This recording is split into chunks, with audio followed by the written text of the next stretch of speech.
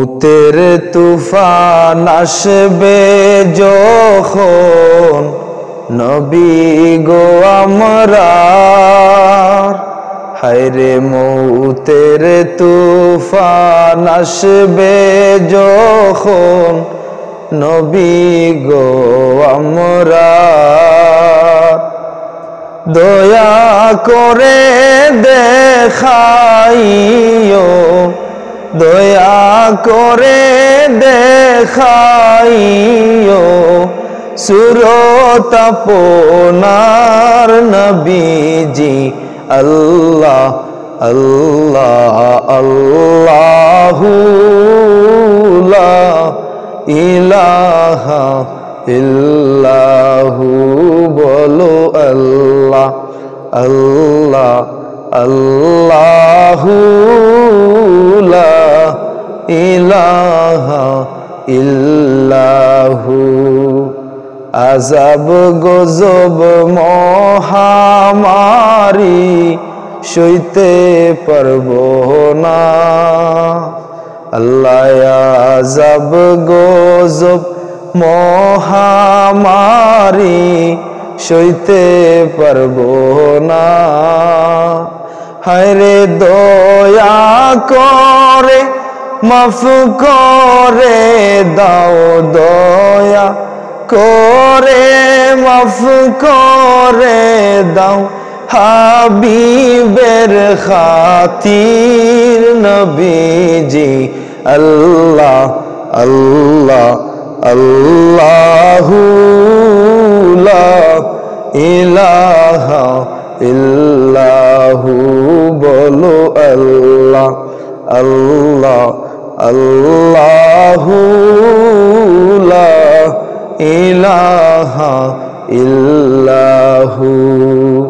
খবর লো খবর লো, আল্লাহ, বন্দা পেরেশা হায়রে খবর লো খবর লো আল্লাহ, বন্দা গুনাগা দয়া করে মাফ করে দাও, দয়া করে মাফ করে দাও। বন্দা পরেশান নবীজি, আল্লাহ আল্লাহ। আল্লাহু লা ইলাহা ইল্লাহু বলো আল্লাহ আল্লাহ আল্লাহু লা ইলাহা ইল্লাহু আল্লাহু আল্লাহ আল্লাহ আল্লাহ আল্লাহু আল্লাহ আল্লাহ ইনিল হুকমু ইল্লা লিল্লাহ আল্লাহু আল্লাহ আল্লাহু আল্লাহ আল্লাহু আল্লাহ আল্লাহ আল্লাহ আল্লাহ লা ইলাহা ইল্লাল্লাহ আল্লাহু আল্লাহ লা ইলাহা ইল্লাল্লাহ, হায়াতের মালিক যে আল্লাহ। মৌতের মালিক সে আল্লাহ। হায়াতের মালিক যে আল্লাহ বলো, হায়াতের মালিক যে আল্লাহ মালিক।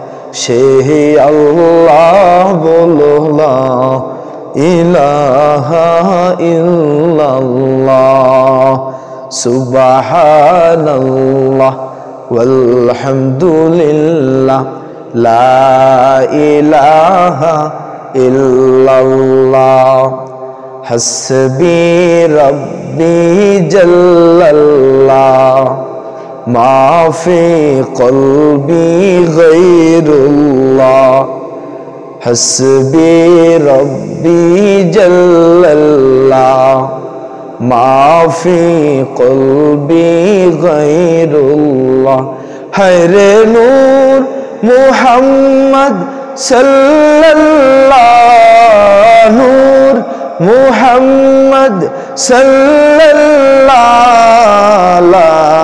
ইলাহা ইল্লাল্লাহ বলোলা ইলাহা ইল্লাল্লাহ। জিকির পর মমিন গণ জিকিরে হয় দিল রোশন।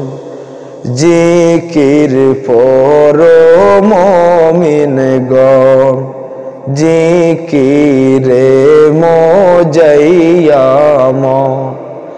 কালেমার সাথে হয় মরণ। হয় রে কালেমার সাথে হয় মরণ, মনের আশা হয়ে পূরণ। বললা ইলাহা ইল্লাল্লাহ।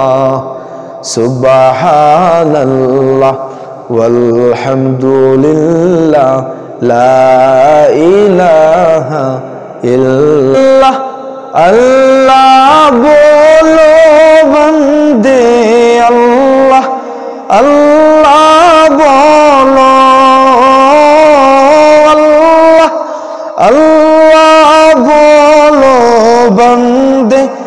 আল্লাহ আল্লাহ বলো। জিকিরে আল্লাহ করতি হুয়ে, রাহে জন্নত চলো। লা ইলাহা ইল্লাল্লাহ, লা ইল্লাল্লাহ বলো। লা الہ الا اللہ ذکر خدا میں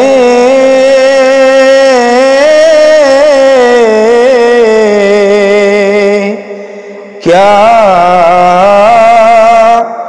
لطف چھپا ہے مومنوں کے سوا तू ही न जाने ला इलाहा ইল্লাল্লাহ লা ইলাহা ইল্লাল্লাহ সুবহানাল্লাহ ওয়ালহামদুলিল্লাহ লা ইলাহা ইল্লাল্লাহ আসসালামু আলাইকুম সম্মানিত উপস্থিতি, আশা করি অনেক ভালো আছেন। সুস্থ আছেন, আল্লাহ পাক রব্বুল আলামিন। আমার মনের আশা, বাসনাকে পূর্ণ করেছেন। আল্লাহ পাকের দরবারে অগণিত শুক্রিয়া জ্ঞাপন করেও শেষ করার মতো নয়।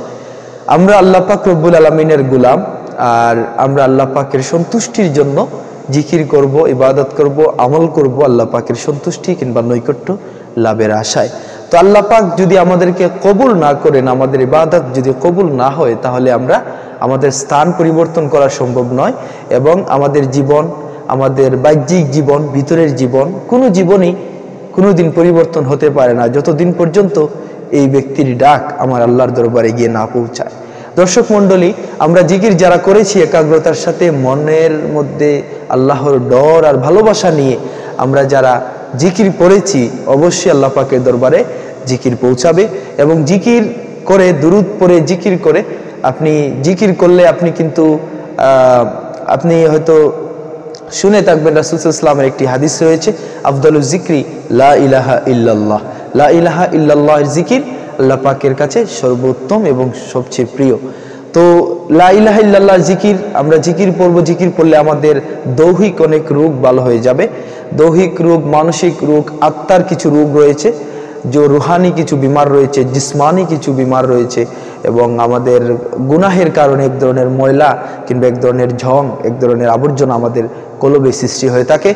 আর জিকির পড়লে এই কলবের ময়লাটুকু দূর হয়ে যায়। তো আল্লাহ পাক যেন আমাদেরকে বেশি বেশি জিকির করার তৌফিক দেয়া ভিক্ষা দান করেন। আমরা সকলে বলব আল্লাহ মামিন দর্শক মণ্ডলী, আপনারা জানেন, বিগত দিনে বাংলাদেশ থেকে আপনাদের জন্য আমি বিভিন্ন ধরনের ভিডিও আপলোড করেছিলাম। এই মুহূর্তে বর্তমানে আমি লন্ডনের মাটিতে আছি। আল্লাহ পাকের হুকুমে কিংবা মহান ইচ্ছায় আমি লন্ডনে এসেছি।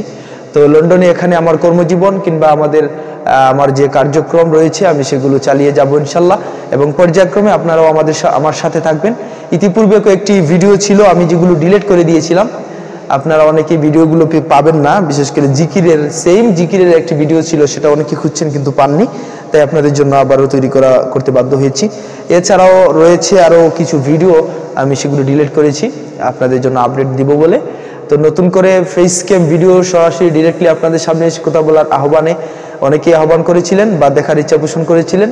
এরপর থেকে প্রতিটি ভিডিও আপনাদের সামনে এসে করার চেষ্টা করব। এবং আমি এখানে আসার পরে আমার অনেকগুলা বিষয় সেট করার বাকি রয়েছে। একটি নতুন ক্যামেরা আপনাদের জন্য বাই করছি এবং এছাড়াও সুন্দর সেট সিস্টেম করে আপনাদের মাঝে রেগুলারলি ভিডিও আপলোড হবে ইনশাল্লাহ। আপনারা ধৈর্য ধরে আমার সাথে থাকার আহ্বান জানাব এবং আমি আপনাদের ধৈর্যের প্রশংসা করছি। আজ এই পর্যন্ত আপনারা অনেকে আমার সাথে সম্পৃক্ত আছেন বা থাকবেন, আশা করি। শীঘ্রই আপনাদের জন্য আমি আরও নতুন নতুন ভিডিও আপলোড করার চেষ্টায় আছি। তো আপনারা সকলে আমার জন্য দোয়া করবেন। আর বিশ্বব্যাপী করোনার মহামারী চলছে। আল্লাহ পাক আশা করছি রমদানুল মুবারক মাসের বরকতে তুফাইলে ইজ্জতে দয়াল নবীর খাতিরে আল্লাহ পাক রব্বুল আলমিন করুণা নামক গজব থেকে আল্লাহ পাক আমাদেরকে হেফাজত করবেন।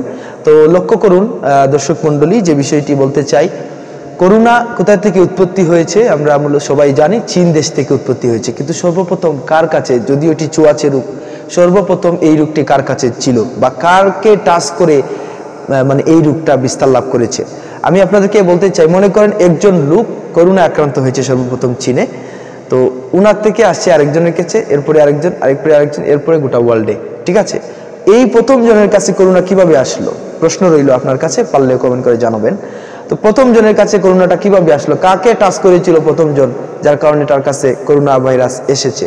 তো এখন এটা হচ্ছে মহান রবের পক্ষ থেকে একটি গজব, একটি মহামারী, যা মহান রব অসন্তুষ্ট হয়ে যখন বান্দা অনেক বেশি পাপ করে আল্লাহ পাক নারাজ হয়ে বান্দার উপরে এরকমের মহামারীর সংকট সংকটাপন্ন মুহূর্ত চলে আসে। তো এগুলো আমাদের হাতের কামাই, এই যে পাপ, এই যে একটা মহামারী চলছে। তো আল্লাহ পাক যেন সবাইকে হেফাজত করেন তাও বা কবুল করেন, সবাইকে যেন মাফ করেন। সবাইকে যেন একা- একাগ্রতা, একনিষ্ঠতার সাথে মহান রবের গুলামি করার তৌফিক, দয়া, ভিক্ষা দান করেন। আমরা সকলে বলব আল্লাহ আমি দর্শক মন্ডলী এই ছিল আমাদের আজকের আয়োজন। কেমন লাগল কমেন্ট করে জানাবেন। সুস্থতা আর দীর্ঘায়ু কামনা করে বিদায়। আল্লাহ হাফিজ। আসসালামু আলাইকুম।